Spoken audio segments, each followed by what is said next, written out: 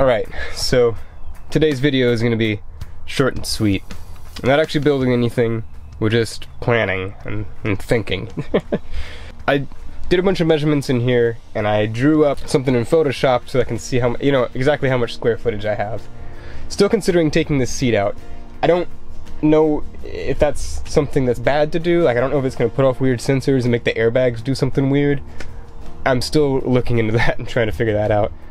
Um, but if you know, please please tell me. I've really appreciated all the help um, and all the advice people are offering in the comments. It, it's helping me out a lot. And speaking of which, here's a here's a good opportunity to ask some more opinions on things I should maybe do. Um, I'm trying to come up with how I'm gonna set up a bed in here. Um, and I'm I was actually thinking about taking this seat out, if that's doable, and then putting a bed that runs from where your feet would sit down, like in the passenger seat, all the way to here, because it, it's about six feet, so it would be perfect. I'm like I'm 5'10 ish, so it would be enough space for me. And an idea I had was building a box right here. One that's open on this side, but kind of goes from here to here, and then down this side. And then I could have three cushions. Ones would go here, here, and then here. And then I could just stack the three up and put them up into this box. So they're out of the way, and I have the floor space available. And then I could have my hatches.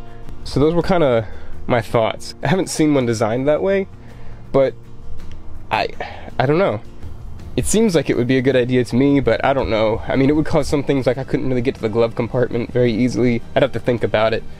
But I'm trying to make use of this space because I'm not I'm not actually going to be using the passenger seat, so I don't know.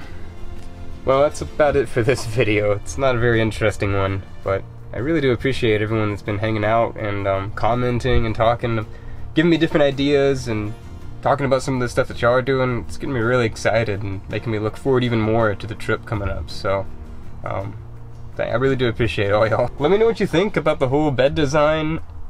I don't know if it's a good idea. And I, again, I just need to keep on Googling around and see about taking that chair out. Someone mentioned in a comment that, you know, it can throw a lot of sensors with airbags and things like that.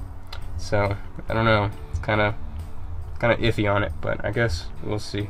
Thanks for hanging out and watching this boring video. I'll uh, be back at it, trying to keep everyone updated as much as I can, even if it's mundane.